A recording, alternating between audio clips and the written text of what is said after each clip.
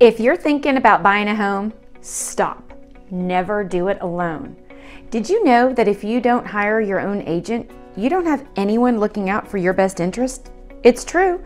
If you walk into a model home, call the agent on the sign, or click the contact the agent, that agent works for the builder or the seller. Sure, they can help sell the home, but they're required to look out for the seller. This mistake can cost you thousands of dollars and make the seller more money.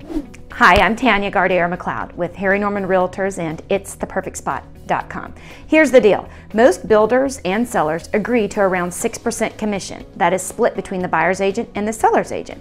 And if you don't hire an agent, where does that 3% go?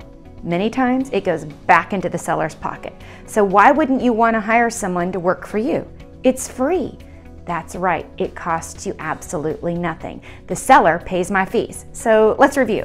You get somebody to watch out for you, guide you through every step of the transaction, make suggestions on what you should and shouldn't be asking for, help you find a lender, be with you on, in the inspections and the repairs, go over what costs are customary for the buyer to pay and the seller to pay, and I'll explain all of the contingencies for free. This is a no-brainer. Call me and I'll send you a copy of my buyer's guide, which is also free. I'm Tania with It'sThePerfectSpot.com and I'm here to make sure you find your perfect spot to call home.